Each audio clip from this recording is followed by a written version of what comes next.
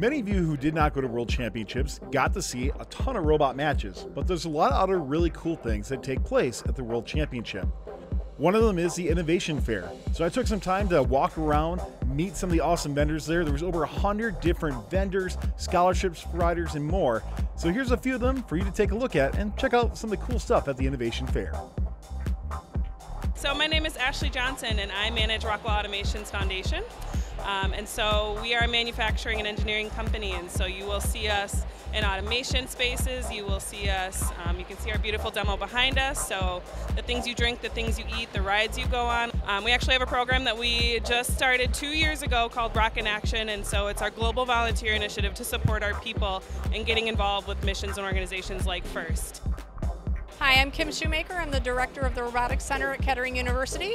We're here at the first championship, uh, meeting a lot of students. We've been working our scholarship row and also the innovation faire where we have our RoboThespian Henry. We also had a couple of our Kettering students here. They, uh, some of our females. They were upstairs yesterday supporting Brilliant Black Builders, where we're trying to increase the number of African American students that participate in STEM careers. And then also with us, I have Scott Travis. He is our Director of Specialty Admissions, and I'll just let him say a few words about all the great international teams he's meeting here. So, the co op program at Kettering University is mandatory. And what that means is uh, because it's built into our curriculum and it's a requirement for graduation, that means all of our students are welcome to participate in our co op program and can start as early as their freshman year. Hi everyone, my name is Coach Cassie from FRC 8592 Newton Squared, and I'm proud corporate sponsor from Booz Allen. At Booz Allen, we are a 100 plus year old management consulting and technology strategy company, and we have been supporting FIRST for over 20 years. This year we're doing something a little bit different.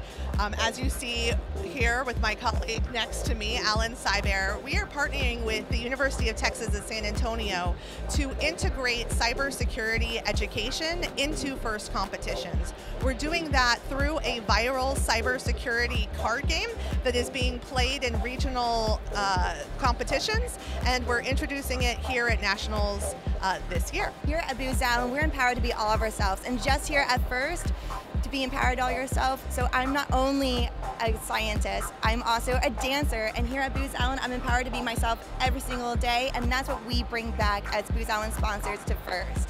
We empower the students to be all of themselves.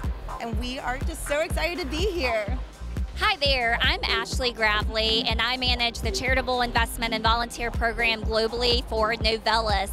Novelis is the largest producer of flat rolled aluminum in the world and the world's largest recycler of aluminum. We recycle more than 82 billion aluminum cans every year. So recycling um, is close to our hearts, and we're pleased to also be the in-kind donor of aluminum in the first robotics kit of parts.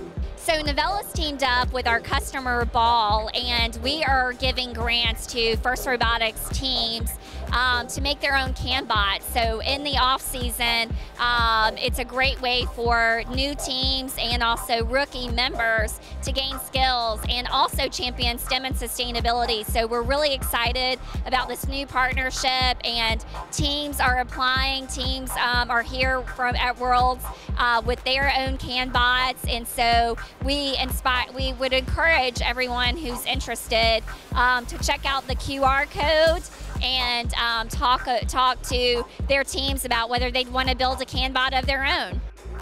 Well, there were over 100 exhibitors at the Innovation Faire this year, and hopefully, if you were there, you got to see some really cool ones. And if you were, comment below, let us know which exhibitors really caught your eye, and we'll see you next time on FRC Updates Now.